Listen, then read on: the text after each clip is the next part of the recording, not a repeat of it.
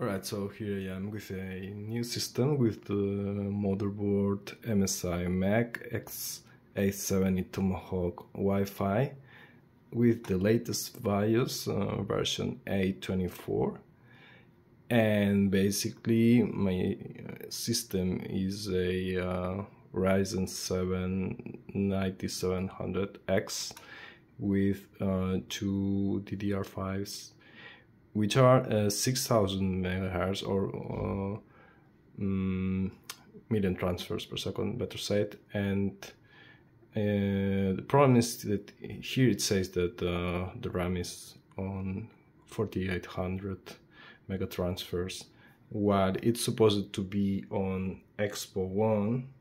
And if we go to the advanced, it's not very well shown, shown but if we go to the advanced tab, we see here that it says speed 6000, but it's contradictory with the with this info here, which says that uh, each of these uh, slots of DDR5 are running at 4800 and not at 6000.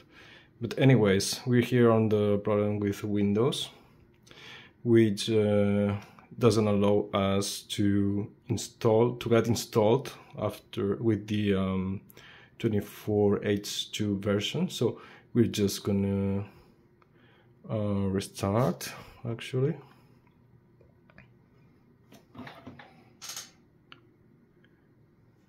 To start a USB with the uh, Windows 11 24 H2 which has been created with the uh, Elena sorry the Balena etcher. Also I tried to do it with the Ventoy and DD tool everything on Linux um, so yeah actually I don't have any access to any Windows computer now. So that's all I can do it is recording a ISO ISO um, image of uh, Windows 11 24H2 which is released officially by Microsoft in its webpage in the x64 bits version.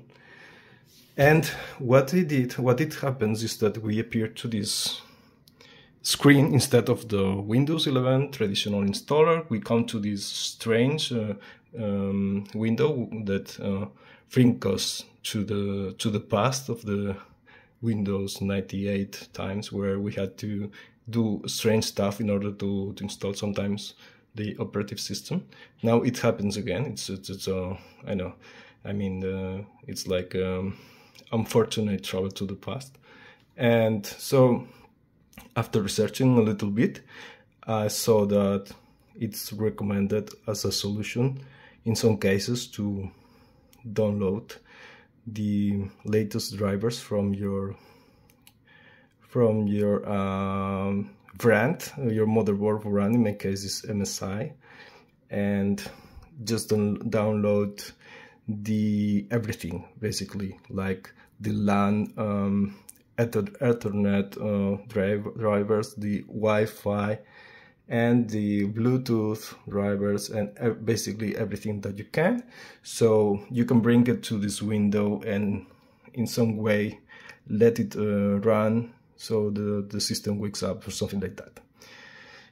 Thing is that this motherboard uh, has the 5 gigabit uh, Ethernet, um, integrated Ethernet um, port and chipset. So basically, I think that is this is one of the biggest problems that uh, maybe um, Microsoft is facing with this um, fresh install of uh, of the latest version of Windows 11.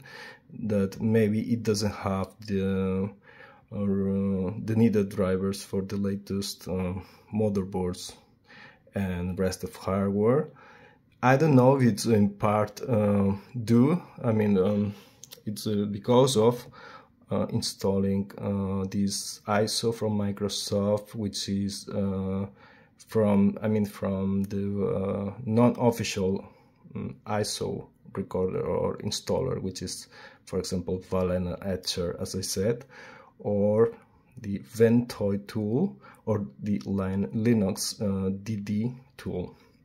Maybe it's working with uh, Windows Media creation, but I have seen lots of comments that also people is having troubles with this tool, so I'm not quite sure that it's going to solve the problem. So basically, I want to show you that I have these um, drivers that I download in another USB uh, aside from the Windows USB and here uh, basically are three drivers that I download that I want to show you which are the one from everything from MSI X870 Tomahawk Wi-Fi official page in the drivers uh, download section.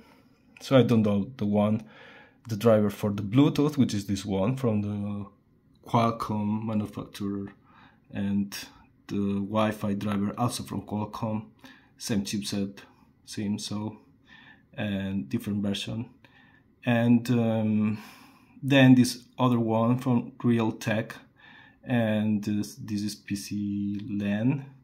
This is for the five gigabyte gigabit, sorry, um, Ethernet integrated chipset. So yeah, I will just show you that I tried it.